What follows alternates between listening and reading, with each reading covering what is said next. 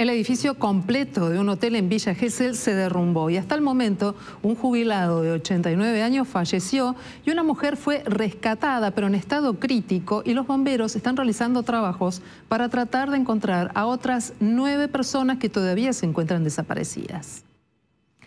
Más de 200 recatistas trabajan en el lugar para encontrar a las personas debajo de estos escombros. Hasta el momento no hay un número exacto de las víctimas. El aparotel está ubicado en el centro de la ciudad, a una cuadra de la playa.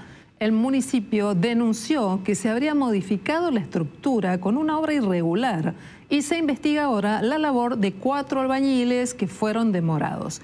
El edificio lindero también tiene peligro de derrumbe y hasta el momento el hombre fallecido y entre siete y nueve personas más se encontraban, que estaban allí en el eh, hotel, en el momento en el cual colapsó, se encuentran desaparecidos. Quedó solamente la parte del desayunador y la parte de atrás de la sala de juego, a la mitad. Y lo que estaba era el edificio de 10 pesos al medio, es como que se hundió. ¿Cuántos pisos? 10 pisos. 10 pisos más dos pisos de cochera abajo, que fue donde se cayó la gran mayoría. No, no estaba cerrado, se estaba haciendo refacciones. Hasta donde yo sé estaban haciendo refacciones. Pero bueno, estaba en el momento que pasó todo esto, sí, estaba, estaba Rosa, eh, Nahuel, Dana y los demás empleados ¿no? que, están, que estaban trabajando. Dice que hasta ayer estaban trabajando. Había empleados que había contratado de Mar del Plata, el nuevo, nuevo dueño y...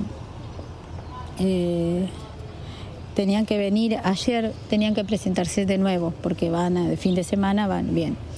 Pero después no los vi yo, en realidad no los vi porque yo estoy en, en mi lugar, ¿no? Este, pero en teoría son cuatro. Y este es el momento en el que rescataban con vida a María Josefa, la mujer de 79 años que se encontraba bajo los escombros del Hotel Dubrovnik.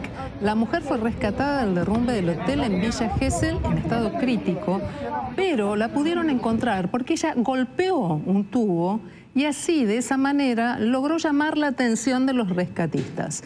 Luego de las maniobras de rescate, la trasladaron a un hospital en Mar del Plata, ya que presenta una fractura en su muñeca y en el húmero. El intendente de la ciudad de Villa Gesell, Gustavo Barreda, habló esta mañana sobre el derrumbe del edificio. ¿Habían detectado y paralizado que se estaban realizando en ese edificio obras que no tenían autorización? Eh, sí, en la parte de la, eh, del frente del edificio, porque el edificio consta de un frente, eh, tres pisos, y después estaba la torre atrás que tendría alrededor de diez pisos. Se paralizó esa obra, eh, aparentemente estarían haciendo un ascensor, y este, bueno, se, se presentaron los propietarios, presentaron documentación, pero bueno, esto ahora, eh, el expediente ya fue secuestrado, ¿no? Todo el expediente administrativo por la fiscal de aquí de Villa Gesell, que, bueno, va a ser materia de investigación eh, todo el proceso que se fue realizando.